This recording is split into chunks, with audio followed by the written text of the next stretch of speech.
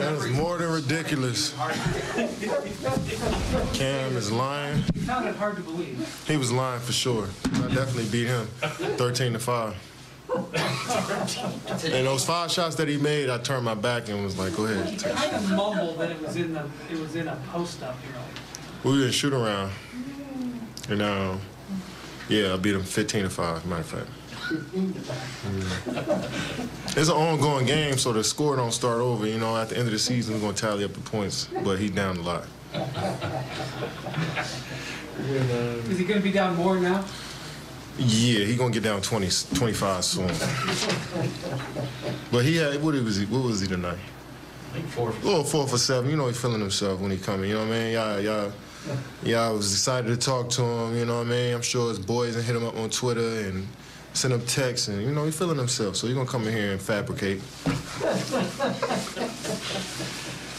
Um, what kind of what, what kind of boost though did it? I mean, you guys are down a dozen in the third. Um, Steve obviously looking for different rotations, different to shake it up. Yeah. What kind of boost did Cam give you?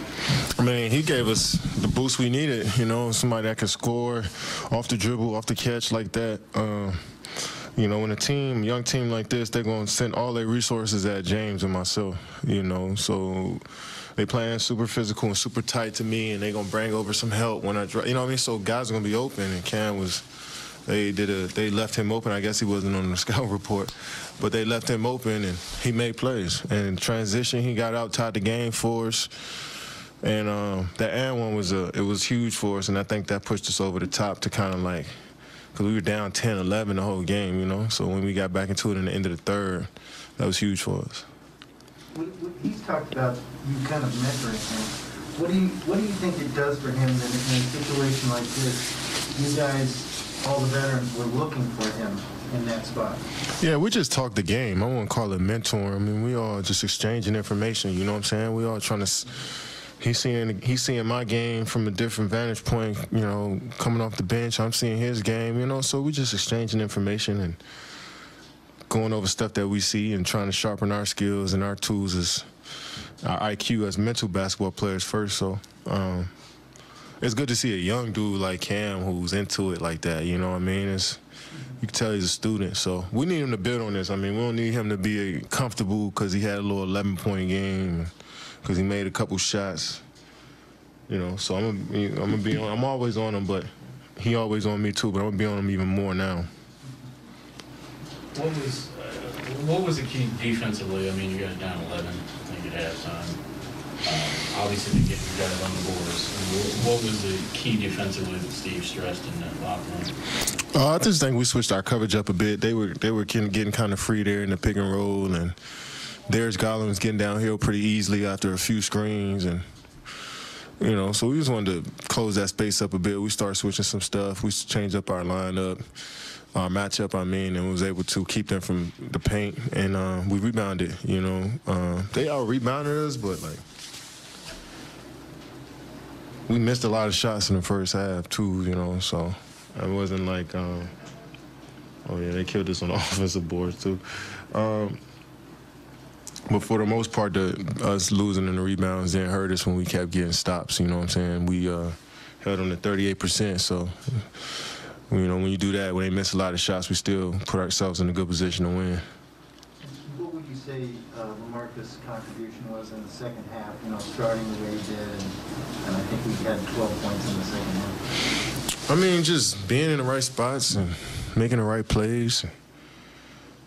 You know, big men. Um, lately, big men have been just. Uh, other coaches have been using their bigs to help so much off of the, the penetrators, and you know, so when we get space in that corner, L was be able to knock that shot down. They feel um, less confident leaving him wide open to come help. You know, so um, he's been uh, taking advantage of those opportunities and to get a double double tonight was huge for us. How's your shoulder, Cool. I know these guys haven't talked to you since before the, the game that, that you missed. What, uh, from your vantage point, what went into to sitting out that game? Uh, no, we had a couple days um, in between those two games, and uh, just wanted to get another extra day of rest and see how it feels after that. So it felt good today. That is good news about the right shoulder. That is probably good Yep. news a couple nights from now when they go to Boston. We'll talk about that in a minute. In the meantime, there was a big swing moment there Yeah. late in the game that you wanted to address. Tell Yeah, 106, 105, and here you get Ricky Rubio. He's going to get the ball beyond the three-point line. They call him for an offensive foul. If they had called that on Patty Mills, which I think would have been a tough call as well, that's Ricky Rubio going to the line shooting three free throws. So immediately after this, it's 106, 105, and Darius Garland gets he's falling asleep a little bit. Harden drives, James Johnson dishes it out to Patty Mills, knocks down the three. That was a six-point swing right there. 109 105 Brooklyn Nets, which was all part of a 7 0 Brooklyn Net run. Could have been Cavs by two, and then you wonder Yeah. how the It's Nets putting, a lot, you know, that. it's putting yeah. a lot more pressure on you now to score on that possession. But remember, you do have Kevin Durant and James Harden on your team. So you're down two with those two guys. They'll figure something out. All right, Lamarcus Aldridge, as we've said, figured it out tonight. A double-double, his first of the season. 21 points, 11 rebounds. He has met the media. Let's listen in.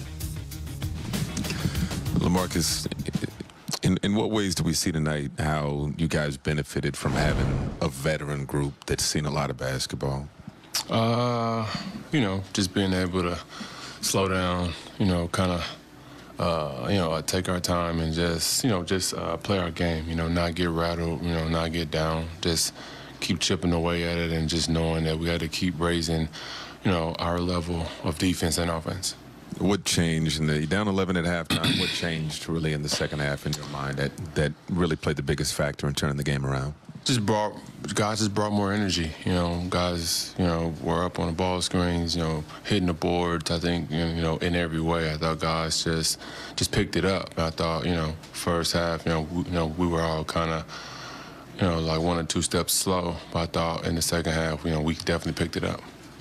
What was your thought about starting the second half and playing as, as much as you did uh, in place of Blake there? Uh, did, did, did it surprise you at all that Steve came in? Uh, it definitely uh, caught me off guard. Um, you know, it was fine. You know, I I was playing well tonight, so it made sense. You know, um, trying to open up the floor for uh, James and uh, Kevin. You know, they- they were packing the paint, so you know, we were trying to take advantage of uh, JA. You know, going to uh, try to block shots. So you know, it definitely made sense. But uh, I was surprised for sure. Is that something teams you notice have done more over the last, whatever, last few games, last week or two, in terms of using their big pack off, pack against KD? against- Yeah, I mean, I mean, you have to. You know, he's such a uh, elite scorer that you know you- you're trying to make it tough for him, and you know you're trying to send, you know, two or three guys at him, and you know that's where you know I try to help by you know trying to knock down shots, and then hopefully that opens up the floor, you know, for him and James to you know try to get to the rim. Kristen? Hey, Lamarcus, I I know you got to Brooklyn before, uh, well, after Jarrett was traded, but I'm just wondering, A, what you thought of his game, and B, what did, what did you need to do to kind of slow him down? Like, he got it going early, and then you were able to kind of get him out of his element a bit. Uh, nah, he's a great young big man. Good hands, block shots, uh, athletic. You know, I've been a fan of his game. You know, ever since Texas, obviously. But nah, man, he, he's been solid. You know, he gives them a a, a a different dynamic at the big, far as you know, being able to finish. You know, putting pressure on the rim. You know. You know when you read the uh, ball screen, so he was definitely great tonight. Um, I was just trying to, you know, just try to keep him off the boards, and you know, just try to keep him in pick and rolls, and you know, just try to tire him out a little bit. And, and second, uh, just what did you make of the impact that Cam had on the game tonight? Uh, instant hot, uh, instant offense. You know, that's what I call him because he came in the game and you know he was instantly getting to the rim, knocking down threes, and you know when you when you score that easy as he does, you know it's just you know it was it was easy for him. Um, I thought he was a big pickup for us, you know, for his energy, knocking down shots and just you know trying to. Uh,